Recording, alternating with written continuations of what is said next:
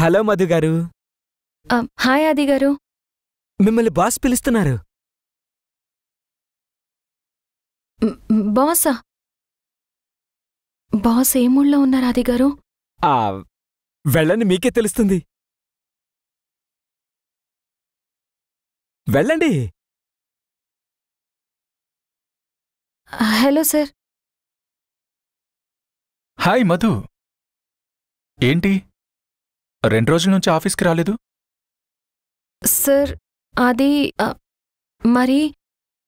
Any problem? ఆ, sir.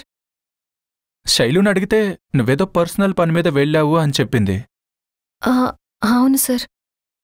ఏంటి విషయం? ఆ, ఆ, అది. It's okay. పర్సనల్ అయితే చెప్పొద్దు.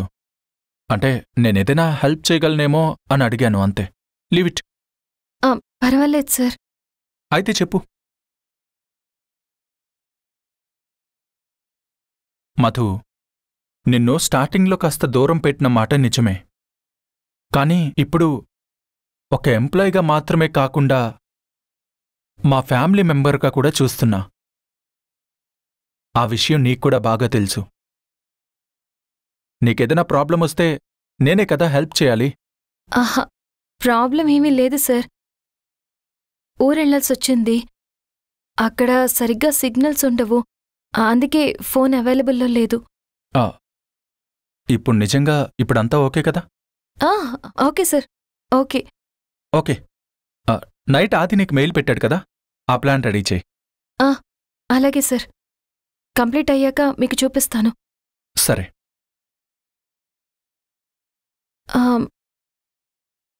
Sorry sir. దేనికి? అంటే లీవ్ అడగకుండా మీకు ఇన్ఫార్మ్ చేయకుండా వెళ్ళాను కదా. It's okay Madhu. అదేం ఆలోచించుకు. నువ్వు వచ్చావు కదా? అచ్చాలు నాకు. Thank you sir.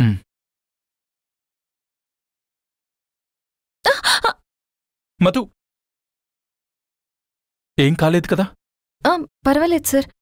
Just slip అయ్యాను అంతే. అమ్మయ్యా! మధు వచ్చేసిందే. ఒక్క లైలా కోసం డిచ్చిక్ డిచ్చిక్ డిచ్చిక్ డిచ్చిక్. ఏరా బాసు ఇప్పుడు చాలా తృప్తిగా ఉందా? చాలా. అబ్బా మొహం వెలిగిపోతుంది చూడు. పాపం రెండు రోజులుగా వాడిపోయింది. ఇప్పుడు మధు వచ్చింది కదరా. అందుకేరా అది నీ కళ్ళలో క్లియర్గా కనపడుతుందిరా. హా? అబ్బా అబ్బా. సిగ్గు సిగ్గు. అది. రే